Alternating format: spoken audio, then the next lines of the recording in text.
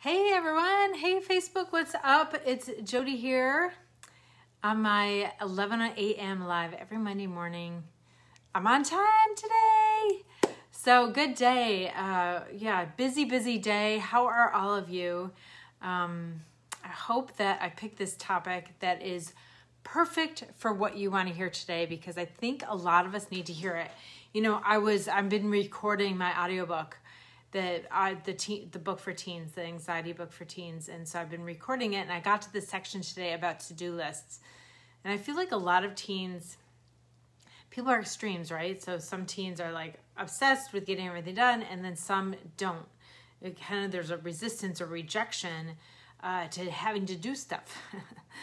and um, so I was talking about it and really encouraging them to make to do lists for themselves.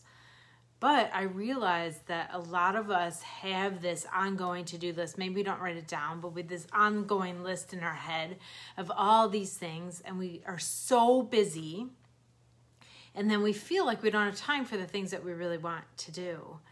And so I want to introduce you to this idea that I learned about when I read Good to Great by Jim Collins. So it's a business book, Good to Great, but it really talks about how to be a good leader and so it can help in every area of your life even if you're just like leading your household. Uh, i feel like this is a really good the, the, the lessons in this book which are really developed through solid research like real good research really helps you be a good person, be a good leader, you know, make an impact on the world. So I, I would encourage anyone to read uh, Jim Collins's books. Actually, it really changed my life. But this idea was introduced by this book that the the stop doing list.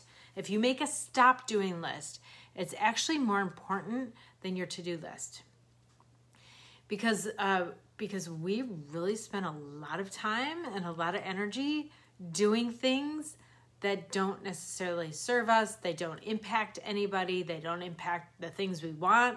They don't even connect with what's important to us.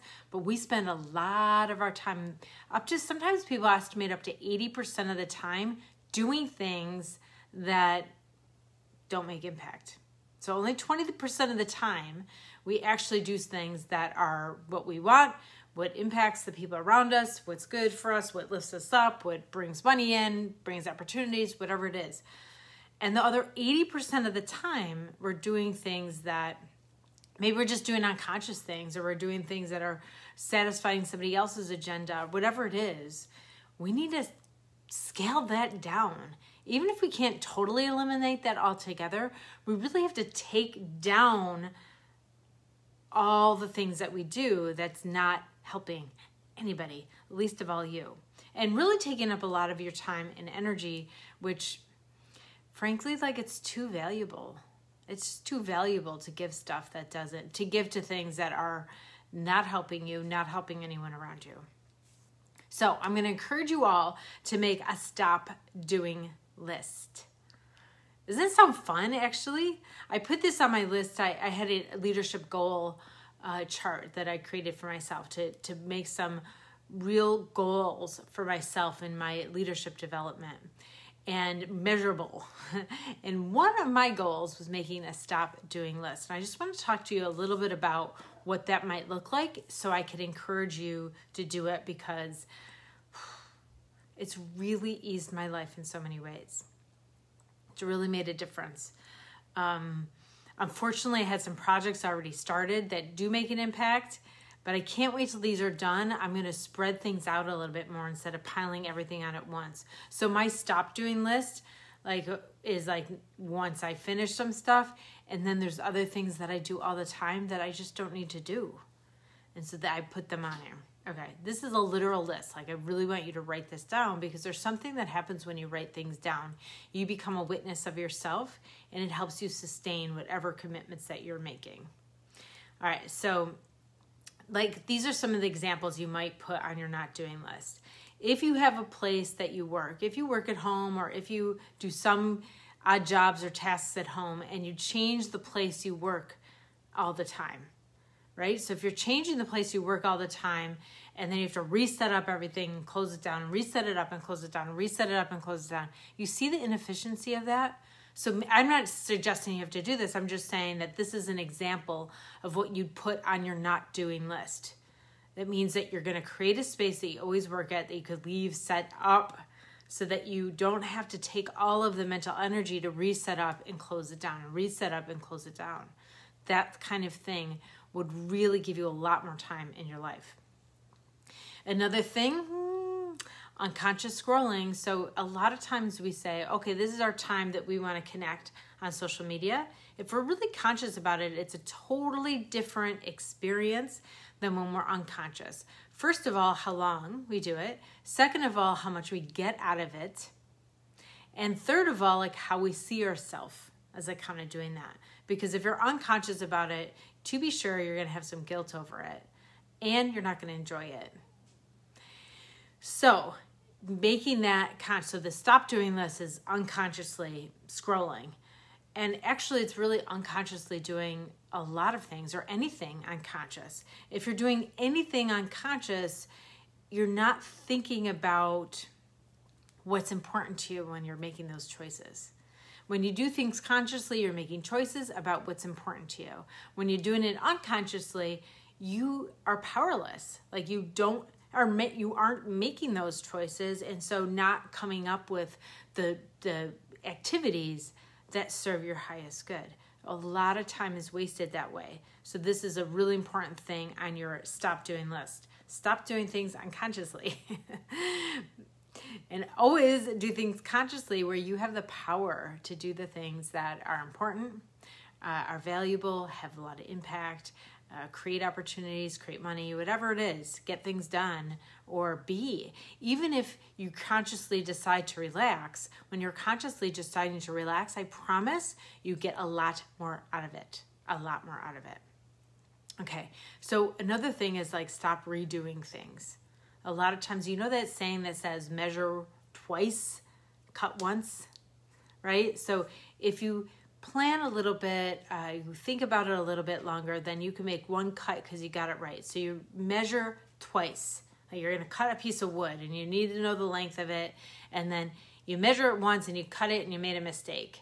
So this is means like measure twice, make sure you got the exact right length, and then cut it once because it saves you from having to go to the store and get a whole other piece of wood this is a lot of our time and energy goes in. Sometimes it's a mistake and an accident and stuff, and we have to deal with that. Yes, there's some that stuff happens. You sent the paperwork in, but they didn't receive it. You have to send it in again. Some of that stuff's out of your control and you can handle it. We're talking about minimizing the things that are in your control. You know, try to create a consciousness and a pause when you're doing something so that you so that you can minimize the times you have to redo it because of whatever. Mistakes happen, but we can minimize them a little bit. This is something. This is something that I have on my to-do list. Measure twice, Jodi, um, so I don't make mistakes. I make a lot of mistakes. You know, I like create something and then I I fix it, and then the links the same as the first one, and so the links broken for people, and those kind of things. So I'm redoing some stuff, and I need to. That's a huge thing on my to do list to measure twice, to be a little more thoughtful about it, to bring that Saturn in when I'm really being conscious about what I'm doing. You know how people have that Saturn, like overthinking, overthinking everything? Like, I need to bring that on sometimes when I'm too much in my Mars. All right, so um, a couple more tips here and you could ask me any questions if this tell me if this is landing tell me if you're liking what you hear telling if you're like i need this today say it tell me okay so we want to consciously so quitting a lot of people get really worried about quitting things and if you're just consciously deciding to stop doing something that doesn't really make sense it's not quitting right that's successful you're not failing at something because you're taking it off your to-do list because it's not a right thing for you. It's not a right thing for the situation. It has no, it makes no sense anymore. It might have made sense in the past, but it doesn't anymore. If you take it off your list, um, if you take it off your list, then um, Spidey Parker, is that Peter Parker? Um, so if you take it off your list, it's not quitting. Don't think about it as quitting, think about it as success because this will increase your success to take that thing off your list. It's smart, it's successful, it's great of you to take it off your list. It doesn't mean that you couldn't and you are too weak or it's smart. Start thinking of yourself as smart when you take things off your list that you don't want anymore. All right, when you're conscious about what you do and when you're conscious about what you stop doing, then it divide, divides up, like it delineates what's important to you to what's not important to you. And this is a really important thing to delineate for yourself. You want to be clear on what's important to you. And I know that things that are important to you, yes, it's of course it's things that are important to people that you love and around you and that kind of thing and for the highest good. And then there's a lot of things that aren't important to you and that means that they're kind of probably not too important to anybody right? It's not like you're not going to put things on it's not important to you and it's like really important to someone that you love. It's just that's not how we work. So don't ever worry about that. I think people worry about that and that's but that's not what i'm talking about. If things are important to someone you love they are on your important list. I know it. Okay. So i have a couple more thoughts here i jotted down to make sure i said um, email right? Your email inbox, it's a lot of other people's agendas in there, isn't it? Maybe you want to put on your not doing list uh, that you don't want to check your email all day, or you want to turn off your notifications on your email. You don't need notifications, there's a lot of junk in there. so you don't need those to come up on your phone all the time. You could you could program it so it's only the people that you want to know about, or you could just decide to check it like twice a day and clear it out. Okay. Uh, this also could mean contracting with other people about jobs that aren't that you hate. So if you're doing jobs all the time, even if they're chores around the house that you really hate to do, sometimes you have to get over it and do it. It's easier. And sometimes there's those things that you could contract somebody else to do for you.